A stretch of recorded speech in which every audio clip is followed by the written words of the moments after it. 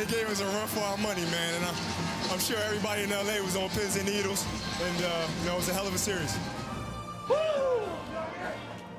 I don't think anybody on our team would have had that series go any other way.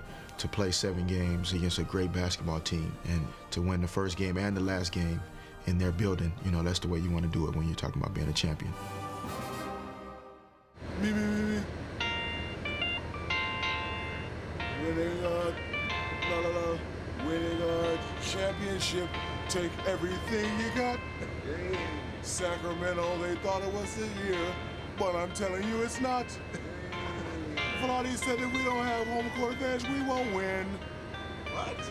Vlade, are you stupid? I'll tell you time again. You need